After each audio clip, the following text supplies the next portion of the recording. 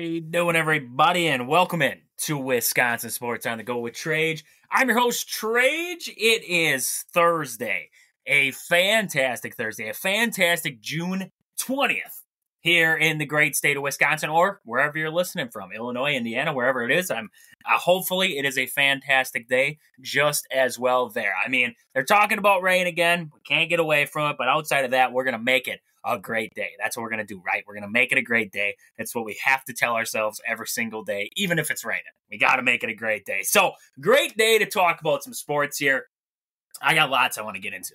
I want to tap into just about everything today, from the Bucks to the Packers to the Brewers. I got it all. A little bit of elsewhere in the league right now. A little bit of everything. A little bit of everything here. So right away, I want to look at something that I was hearing yesterday, and that is who is your baseball greatest of all time? And, you know, this this one really, you know, when I, I had to really think about this. I had to I I sat there and I was like, man, you know, who would I rank as my top player of all time? I mean, you got there's there's a boatload of players you can go with, right? You got Babe Ruth. I mean, if if you're a big Babe Ruth fan, there, I mean, you have Hank Aaron has got to be up there. You're talking about guys like Willie Mays, who's up there, Ted Williams. I mean, Ty Cobb is up there, Lou Gehrig. I mean, there have been Mickey Mantle. You can't forget about Mickey, right? There are so many guys up, you know, that have played either in, you know, the 50s, the 60s, the 70s, whatever it was. And they have paved the way from what we're seeing today, but the numbers that they put up while doing it, ridiculous. Ridiculous. So, I mean, just looking at them, it's like, who do you rank? right? And you know, if you you guys out there, I would love to hear what you guys think. I'm gonna post it out there on the Facebook page. I'm gonna ask out there who's the greatest player of all time. I'm also going to, uh, you know, if you have if you have an answer to this, shoot it out there in the fan mail. Uh, if you go into the description of this show of the show here, you can go into the bio there and you can send a message, right, and shoot it to me. Let me know who you think is the greatest of all time in the MLB because I'm going to shoot it out there to people on Facebook, Twitter, whatever it is, and see what people think too. I want to know. I want to know from the public what you guys think because this one this one threw me for a loop. But when I think of the greatest of all time, it's hard not to say Hammerin' Hank Aaron, right? It's hard. It's hard not to say Hammerin' Hank. I mean, you're talking about a guy who ended his career with a 305 average, 755 home runs, 2,297 RBIs, 3,771 hits, and I mean, he played right field, right? Didn't really play that long of a career. Uh, I believe it was for, I mean, he got the Negro League, right? 1951. But then he played until 1976 there. But all in the NL, always playing every day. You know, maybe if you flip him and you put him in the DH role, in the AL, maybe that changes, right? His longevity, his ability to stay out there and everything like that, and his ability to hit. Because, I mean, that guy was hitting home runs from day one until the end there. And it has been crazy to watch him there. I mean, you know, now the home run was beat by Barry Bonds, but do we, is that, do we, I don't want to say, you know, because there might be some Barry Bonds fans out there that we're just going to take away his record. But at the same time, it's like Hammerin' Hank was it. He was that dude. He was that dude. And, you know, that's not to take anything away from Willie Mays. I mean, Willie Mays, 301 average, 660 home runs, 1,909 RBIs, above 3,000 hits there. I mean, Willie Mays was fantastic also. And I mean, Babe Ruth, pitch, and uh, he was a pitcher and a hitter there, and very good numbers on both sides there. I would just say if I had to pick my, and I mean, you got Griffey, you got Griffey Juniors in there. I mean, it's it that is it's a difficult question. It is definitely a difficult question, but I would definitely have to say, and as I'm recording here, I just watched Freddie Peralta throw that thing into center field. Had him picked off, threw it into center field, but getting off topic there. I would just have to say Hank Aaron. Hank Aaron would be my greatest of all time. Now, that's not to say that, you know, somebody might say, well, you know, this stat tells me this and stat, this stat tells me that. I just, you know, from what I've read about Hank, seen a little bit of video, right, and everything that I've read up on him and looking at the stats and everything, he was one heck of a ball player. And it was all through his career. And the home run ball, I mean, he was ridiculous with the home run. It was just ridiculous to watch this guy and to see the stat lines, to see him over the years, how he progressed, everything like that. So, I mean, to me, I would have Hammerin' Hank Aaron. But I'm going to shoot the question out there, and it's going to be out on the Facebook page. It's going to be out on Twitter, uh, everywhere that I can get the question out there. And I'm going to ask. I'm going to ask people, and I want to see, you know, who the majority, if there is a majority that says one guy or what everybody's thinking there. So with that, I mean, that's where I wanted to start was the greatest of all time. I know yesterday we talked a little bit about, you know, Willie Mays and the career that he had and the, you know, sad, sad day that when he passed away there. But that kind of sparked my interest of, you know, because Willie Mays is up there as one of the greatest baseball players of all time. So I really wanted to get into that and just kind of see where I was and then kind of hear where you guys are at with your greatest of all time. Even better question who's the greatest brewer of all time? Who is the greatest brewer of all time?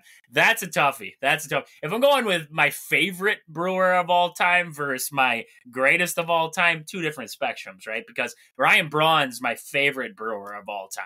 But you know, you get over to who was the greatest brewer of all time. That's that's tough. That's tough. I mean, you got you got guys who Robin Yount, Paul Molitor, Cecil Cooper. Uh, you could, I mean, Prince Fielder had some good years with the Brewers there.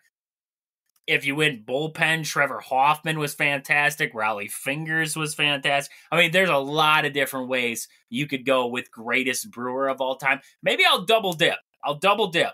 I'll ask people what they're thinking about the greatest player of all time and who the greatest brewer is of all time. I'll double dip on that question there. And then tomorrow I'm going to come back with my answer of who the greatest brewer of all time is there. So, with that, getting off of the greatest of all time talk, the GOAT talk, and everything like that. We all know the NBA GOATs, Michael Jordan. Come on, we all know it. We all know it. Six and all, all those MVPs, all those defensive players. You can't, you can't dethrone that guy.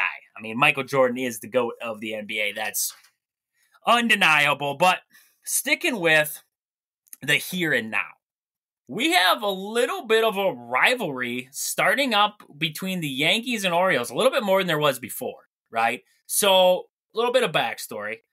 We watched yesterday there when I said Judge got hit in the hand. We talked about Judge's injury, and there was another, I believe Gleyber Torres was hit by a pitch too. So, two guys get hit last night, or yet two days ago there.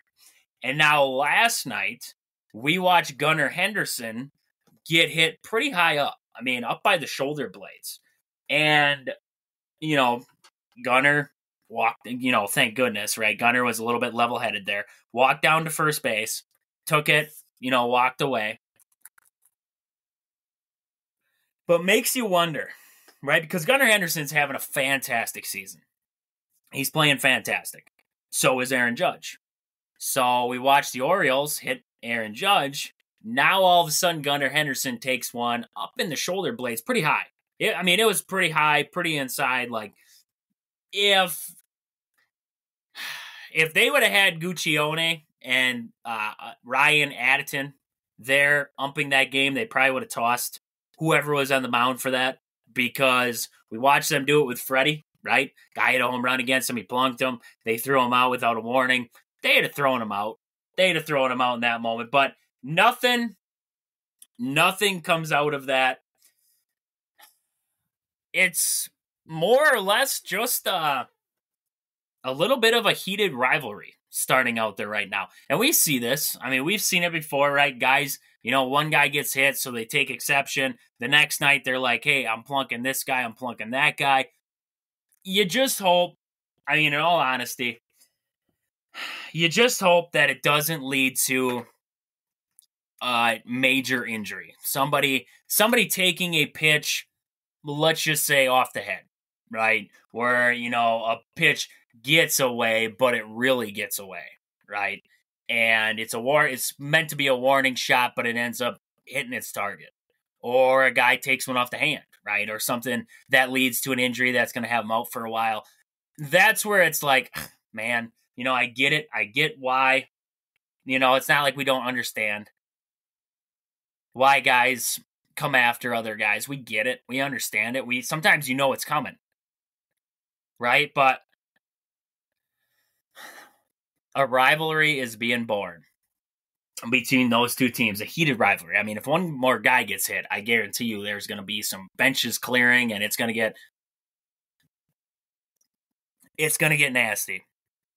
It's going to get nasty in there. So, hopefully, you know, things start to simmer down between those two teams, but I don't see it. I don't see it. I see that rivalry is just starting. The heated rivalry is just starting there, and I could see some bad stuff. I, I could see some bad news coming out of them about a, a benches clearing brawl or something like that happening pretty darn soon here. So, I mean, sticking with baseball, sticking with the MLB, sticking with the NL Central, and we got our our our lovely neighbors down to the south there. We got the Chicago Cubs, right? And the Cubbies, well, the Cubbies are having their own way right now. They are, I mean, starting to slide a little bit down to the bottom of the division there. I mean, they seems like they're looking up and they're going, how the heck are we going to get back into this thing? Now, as I speak, now they are currently second to last in the division right now. They are ahead of the Cincinnati Reds by a half a game, but eight games back, right? And this team has struggled. They're five and five in their last ten games, one two in a row now, but five and five in their last ten games. They are thirty six and thirty nine, so a little bit of a struggle, right? And we watched the other night there. Hector Neris did end up blowing a save for the for the Cubs there. Ended up blowing a save to the Giants. And a lot of Cub fans were upset they were like, man, oh man, we got to get Hector Neris out of there. We need a different closer in there. This ain't working. We had the lead going. I believe it was six to uh, four heading into the ninth there. And Neris ended up giving three runs. And that was the difference in that one. So, I mean, okay, so you got that backstory now. Now we look at Cub fans in general. And they're starting to not love Craig Counsell right? When he came down there, the big it was the biggest like F you to Brewer fans, right? Cub fans were like, "Oh, he came to a winning team. Ah, you know, he didn't he didn't want to he didn't want to be up there with the losers. Now he's got management that's going to spend money. They're going to get him guys. He's going to win World Series. All we needed was this great manager and it's going to put us over the top and da da da da." And eh, I loved it. I loved every second of it because I was like, okay, you know, I get, yeah, I I feel you, right? You got this manager who you've watched in Milwaukee do good things with less, and now you're all excited, and now, well, Cub fans they want him out. They're done with him. They they look at him and they say, "This guy can't do it. He can't manage. Take send him back to Milwaukee. Will you guys take him back? We'll trade managers with you." Blah, blah, blah, blah. Right? Seen it all. Seen it all now, and it just makes me laugh. It, it really does. It just makes me laugh because I mean, to go from one second you're basically sticking your finger in our noses and telling us like, "Haha, we took your manager," and the next minute you're like ah, we really, you know, we really don't want him. If you guys want him back, you can have him. Like we don't, we don't really, we don't want this guy. Right? He ain't cut out for us. You know, he's he's not as good as what we thought, and you know, we we're kind of we're kind of screwed ourselves. I find it comical. I really do. It's just Cub fans, to be honest with you. It's Cub fans. That's just the way that they are. Because I mean, honestly,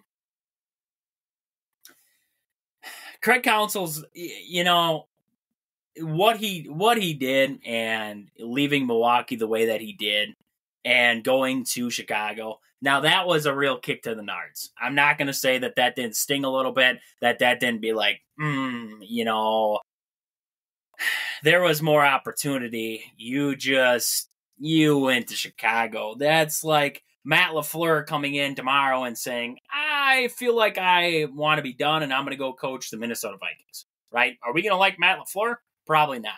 Probably not, right? But some people are like, ah, let it go. Let it go. Okay. I get it.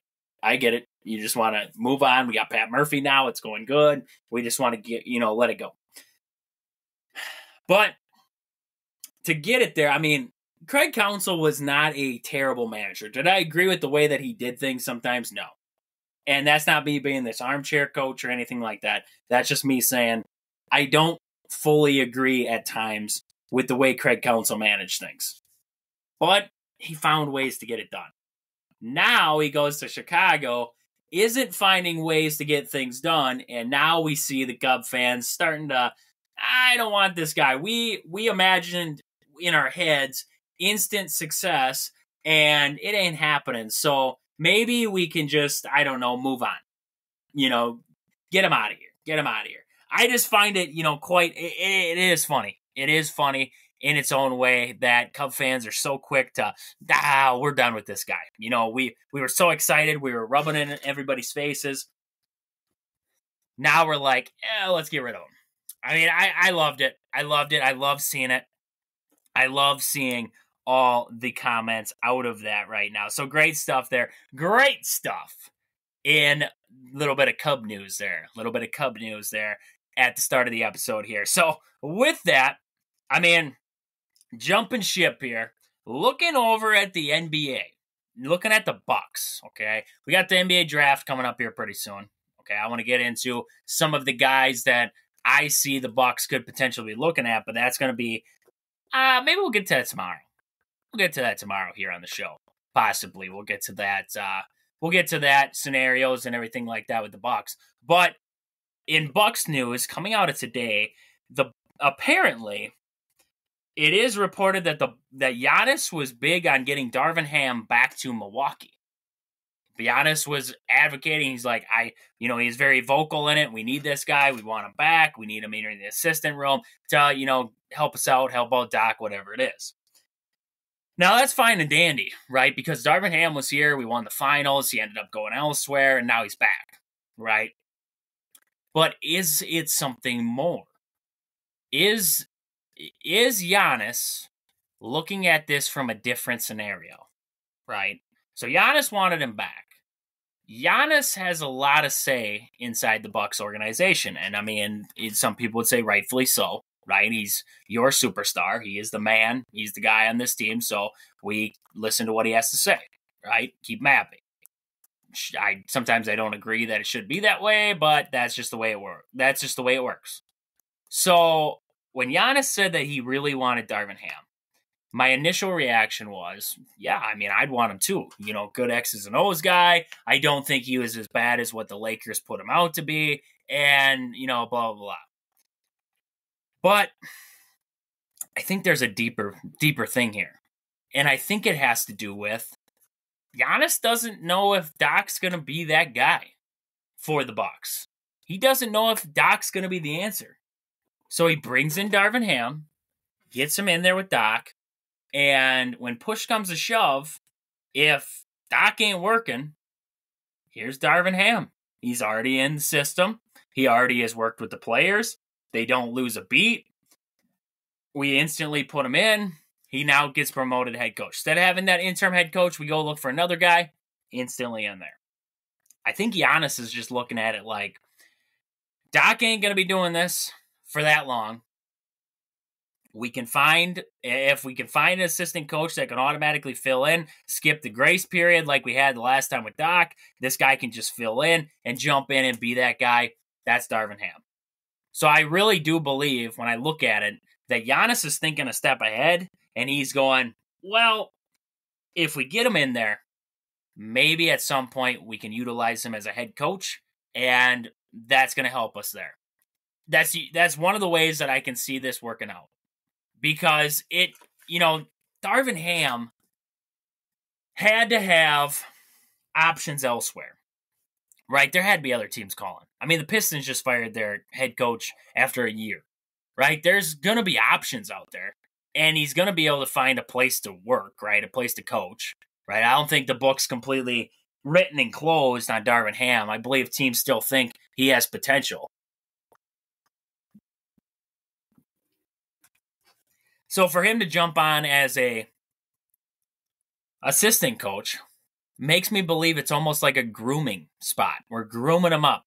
You know, we're we're fluffing the hair before we throw him in there. We don't we don't want to just, you know, send the show chicken out there without fluffing the feathers first, right? So we're gonna fluff the feathers up. I don't know. I don't know much about showing chickens, but that that would be my assumption. Would be you fluff the feathers a little bit there, get them looking nice, get them looking nice. You want those feathers to be just pristine on them there. So maybe that's why, right? We're trying to groom them, get them ready, throw them into the system, right?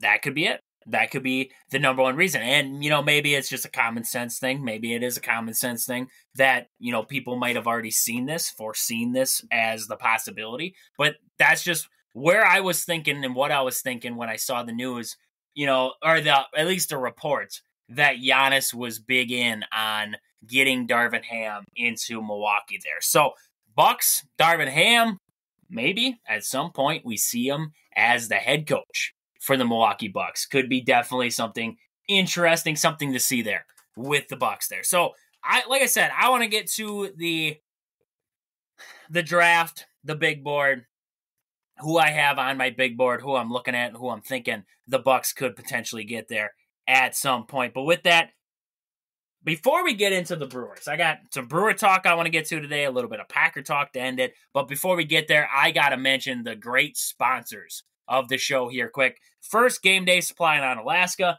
Do you have a sports club or team? Are you looking for some sweet custom uniforms or apparel? Check out the awesome crew at Game Day Supply on Alaska to help your team get the sweetest gear. Find them on Facebook at Game Day Supply or online at GameDaySupply.net. Also, they have some of those new smacking seeds. If you haven't seen them out there, I've seen a ton of videos on them. New smacking sunflower seeds down there at the store. You can order them online from the store there. It, they are fantastic.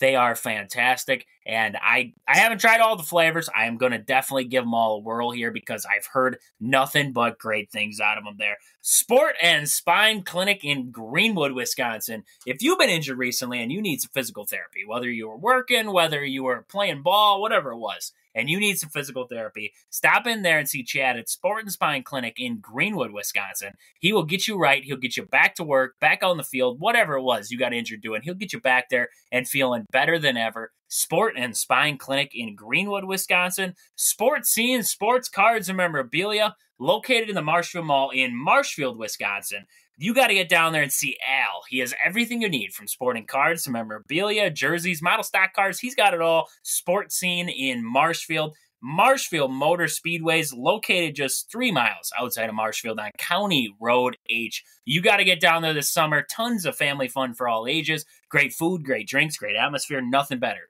for a fantastic summer day or night down at the track there. So Marshfield Motor Speedways Pittsville Farm and Home Center. At the store, they serve you anything from hydraulic hoses to red roses. Stop in and see the awesome crew at Pittsville Farm and Home Center in Pittsville, Wisconsin.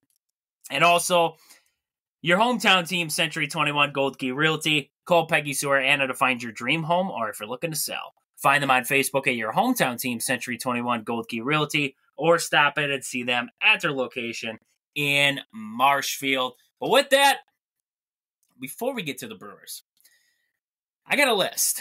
I got a list that I saw today that was made up by clutch points. They're called clutch points. I don't know if they're on Twitter or wherever. I don't know. I just saw the list. And they listed their most hated NBA players of all time. I thought this was an interesting list, so I had to dive in there. I had to see what I was most hated NBA players, right? So, who would you have on the list? Who would you leave off? The top 10 most hated players of all time. Number one, LeBron James. LeBron James. I could see it. I could see it. I'm right there. I'm right there with you. I could definitely see that happening there. Kevin Durant comes in at number two this could have a lot to do with Kevin Durant seems to jump on super team super team. He doesn't want to build nothing. He doesn't want to work for it. He gets on super team after look at the Suns, right? You look at the Suns team, Bradley Beal, Devin Booker, they're trying to build a super team. Look up at the Nets. He had the likes of Kyrie and James Harden on that team. Did it work? No. Is the Suns thing working? No. Eh, he was with the Warriors at one point, joined Steph, Clay, Draymond. I mean, the team was loaded. He didn't have to do. He, he, I mean, I'm not saying that in his stops he did not put up buckets and didn't play well, but joining super teams. That team was loaded. He just joined up, won a championship, right? Before that, OKC, that's when he was working a little bit right? He was working a little bit, trying to make things happen. Outside of that, he has just been jumping around super team to super team, trying to, you know, build something. And that could be why Kevin Durant is up there at the two spot. Bill Laimbeer is at the three spot. I didn't know that many people hated Bill Laimbeer, but I guess so. I guess. I mean, I dislike a lot of people that I probably shouldn't. So Bill Laimbeer is at the three spot. Vince Carter I love Vince Carter. I don't know what these people hate him so much for, but he's in the four spot there, most hated all time. So that one's kind of surprising. I love Vince Carter. Watching him play was just fantastic. I, I always I always found it fantastic watching him play, so I definitely thought that was an interesting one there. Isiah Thomas. Isiah Thomas comes in in the five spot. And I'm assuming that this is the Isiah Thomas that played with the Pistons. I don't think it's the little guy who played with the Celtics a little bit there. I'm thinking it is the one with the Pistons there. Bruce Bowen comes in in the sixth spot. Latrell Sprewell comes in in the seventh spot. Chris Paul comes in in the eighth spot there. That one, I didn't really know Chris Paul ever did that much. Maybe that's why people hate him. I don't know. But I didn't know Chris Paul did enough to be hated. So Chris Paul in the eighth spot there. James Harden in the nine, I could move him up on the list, right? Because he irritates me. He irritates me. The holding out, the, you know, have to be on this team, have to be on this team. I won't play if I'm on this team. The stupidity off the court. I mean, James Harden drives me nuts. Drives me nuts. I could see him being higher on that list. And Reggie Miller was just, uh, he was a good player. Probably could have been better if he didn't get hurt, right? Probably could have been better. But Reggie Miller was just, I mean, I wouldn't say that he was that eh, well, some people I guess he's hated. I never hated him that much. I know I I watched him play a little bit, watching his game. I didn't. It's not like I hated the guy. You know, maybe he did some stuff in between the lines that people didn't like. But so I mean, the list is interesting. The list is definitely interesting there. I don't know some of the guys on there if I would have them on there. I mean, most hated it's a rough word. It's a rough world. A rough, yeah, it's a rough world. Rough, rough list, rough world. I mean, tough to, tough to uh, really look at it and try to see. But I mean, that, yeah, there's a couple names on that list. So Le- LeBron really sparks me. He drives me nuts. So I'd probably have him up in my one spot there. The Vince Carter one, I'm not a fan of. I, I don't, I never really hated Vince that much. I mean, some fans out there might have hated Vince, but I, I just don't hate Vince that much. So, I mean, to be up in that four spot, that's kind of surprising. That's I'm surprised that all the LeBron fans didn't come on there and say that they hated Jordan because that would not have surprised me. They would have said, "Yeah, I hated that Michael Jordan guy. He might have been the greatest of all time, and he might have been a, a phenom, and I mean, just a crazy athlete. But we just hated that guy for some reason, right? I mean, definitely definitely an interesting list there. I, I just found it before. I, I had to shoot it out there. I had to, you know, and like I said, you guys have a different opinion. Definitely feel free to send a message to us there. Go in the bio and send us a message and let us know. Let us know on the show here who are your most hated NBA players of all time there. So with that, it's time. It's time we get to a little bit more I just saw this pop up across my web feed there, so we got to get to a little bit more WNBA news. And eh, not really. WNBA, men's, a little bit of everything put together. So if you had to guess out there, the most watched basketball games of 2024 as of right now, what was your most watched game of 2024? The number one game. Give you a second, give you a second to really think about it. Iowa South Carolina. There was 18.9 million viewers. Then we go to, I believe this was the final four game between NC State and Duke. If that wasn't the Final Four, that was game before that. It might have been. It might have been Elite Eight. I believe it might have been the Elite Eight that we saw Duke and NC State. Yeah, it was not Final Four. Duke and NC State Elite Eight. That is the number two. And a lot of it was for DJ Burns. A lot of people wanted to watch Burns, but 15 million viewers there. That was 1 million more viewers than what tuned in to watch the Purdue and UConn national championship. But the number four women's game there, or number four, was a women's game. Iowa and UConn, 14.4 million, uh, million viewers. The men's Alabama and UConn, 14.2. Then we get to finally, finally, the one who brings all the viewers to the TV, Angel Reese. She got in this one, 12.3 million viewers there in the number six spot, Iowa and LSU. Good stuff. Good stuff. You know what's baffling to me? Is I hear all this about Angel Reese telling us that she, you know, everybody was tuning in to watch them. It wasn't just Caitlin Clark. They were tuning in to watch them too. Explain to me then why in this list, in that top six, right? Because in that top, outside of the top six, the seven, eight, nine, ten, three of those were NBA Finals games, and the other one was the men's uh, Final Four game between Purdue and NC State. So, looking at the list, explain to me how the LSU Tigers did not end up on that list then. Did not end up on that list against, I don't know. You could have even said, well, when LSU played earlier games, why were they not on the list? Caitlin Clark got in there in a Final Four game and a national championship game. She had two games, three games in there. Three games in there. Elite Eight, Final Four, National Championship. She was in every single one of them and drew a crowd. Drew the sixth, top six in most viewers in basketball. Hmm. Hmm. Wow. I can't believe it. I can't believe it. That's baffling.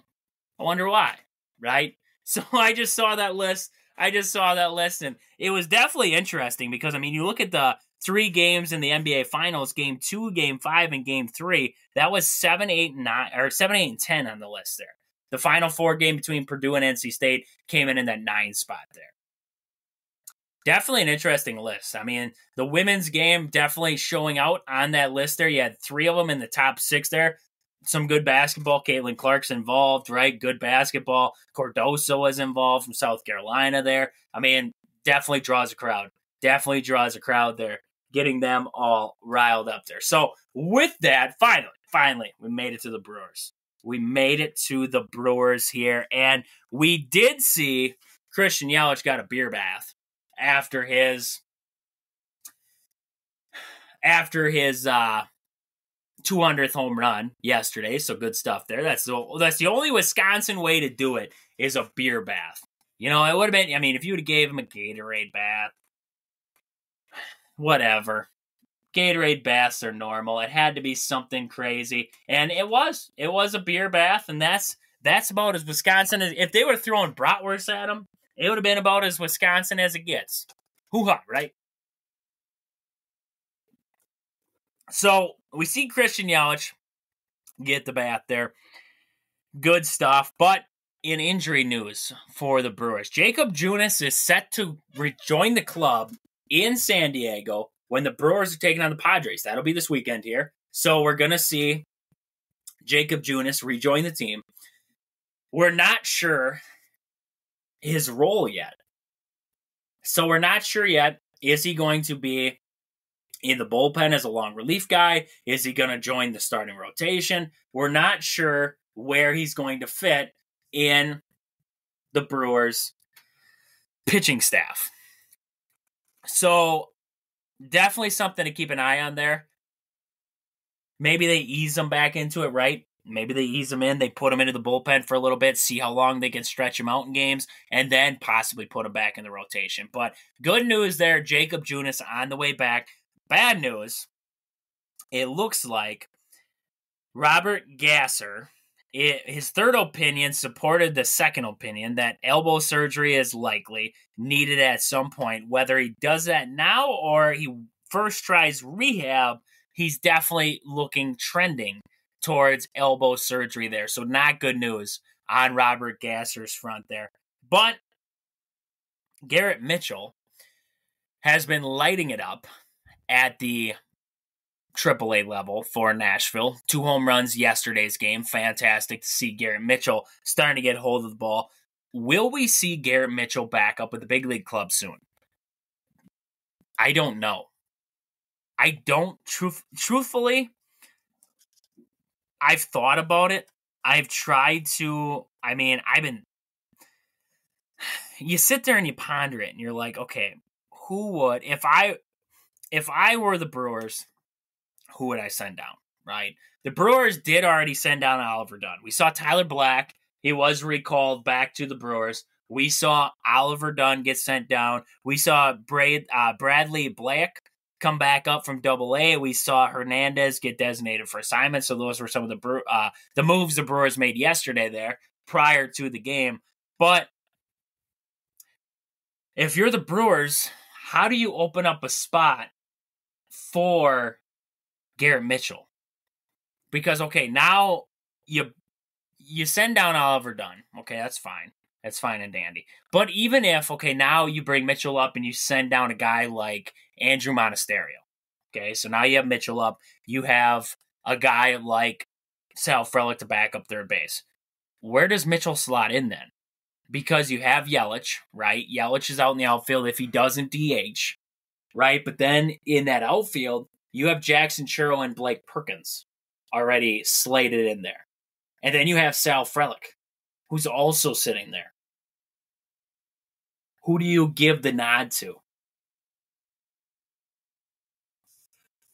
Who do you give the nod to say, you're going to be my outfielder, right? Chourio right now has been hitting the baseball. He's been hot as of late. So can you realistically say, Jackson Chourio, we're going to take you out of the starting lineup? We're going to use you predominantly as a uh, bench guy, and we'll see how it goes from there. Can you do that with a guy like Jackson Chourio right now? I I don't think so. I mean, you're talking about a guy who's hitting 273 over his last seven, and in his last 15 games, he's hitting 286. I don't feel like you can move Jackson Chourio right now, but if there's one guy I believe that you could potentially move, that would be Blake Perkins. Blake Perkins though he has had some streaks and I mean he's a fantastic outfielder and I hate to say it but you look at hitting 143 over the last 7 games and 255 over the last 15 if you were going to give a guy some time off it would be Perkins right?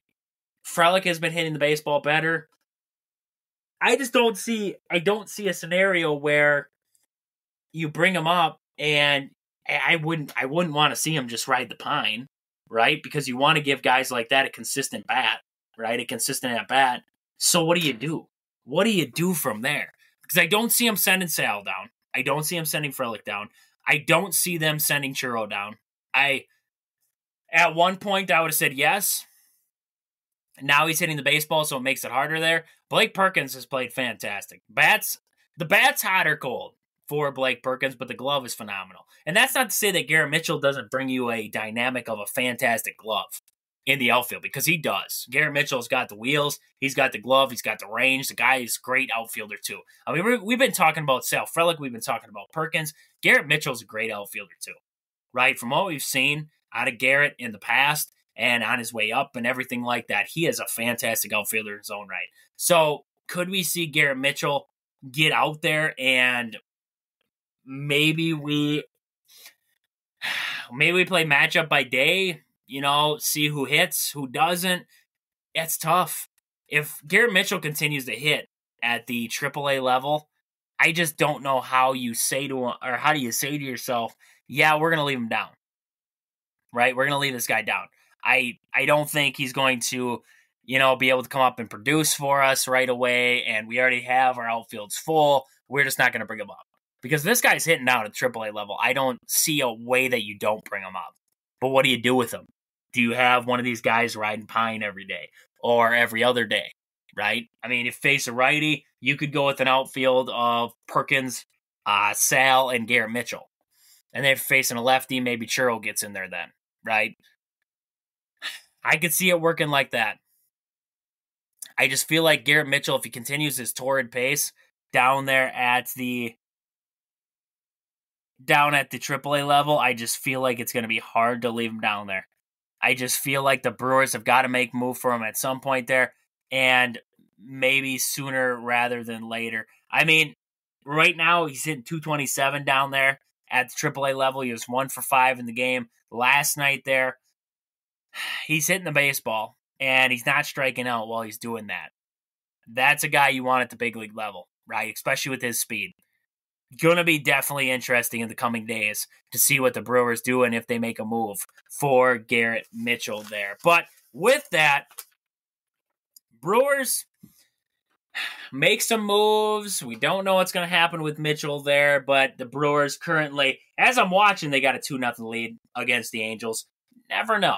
You never know with the Brewers what they're going to do. We thought they were going to pull off a fantastic a fantastic 6 nothing win against the Angels, let it get to 6 to 3, and then Sal Frelick had to play hero ball and rob a home run to keep it at that score. But hopefully the Brewers hold on to this one. So Brewers end the series with the Angels. That was, I mean, a test for this Brewers team. Now they got the Padres coming up there. Should be a good series against the San Diego Padres coming up here. I believe, if I'm not mistaken, that's a four game series. Yes, it is. Yes, it is a little four game set against the San Diego Padres.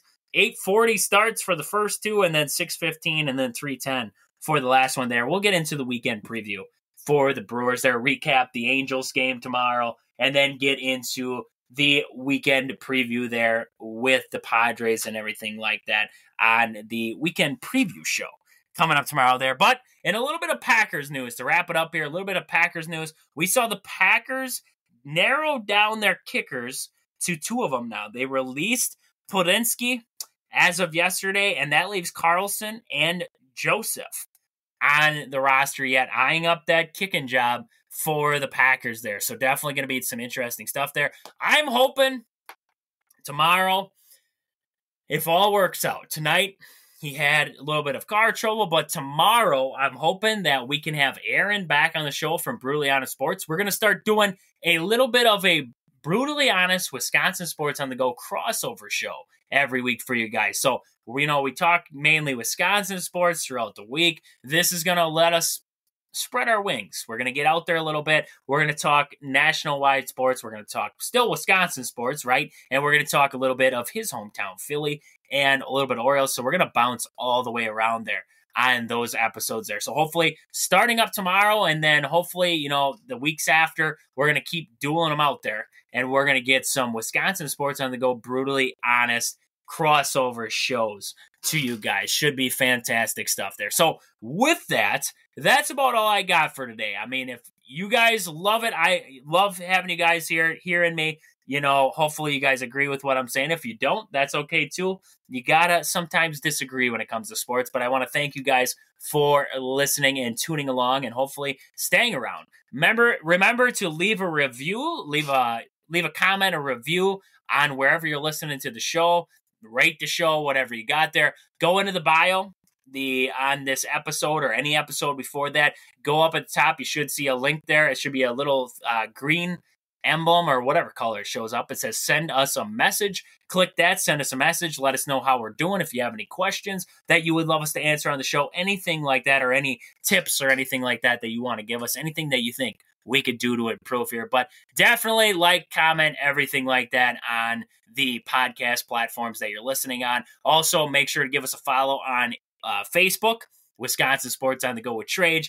Instagram, Twitter, with Sports on the Go. You can find us there, and definitely we'll be throwing content out all the time there. So, with that, this has been Wisconsin Sports on the Go with Trage. Thank you guys for listening. I hope you guys enjoy the rest of your Thursday. But until I talk to you guys again tomorrow, deuces.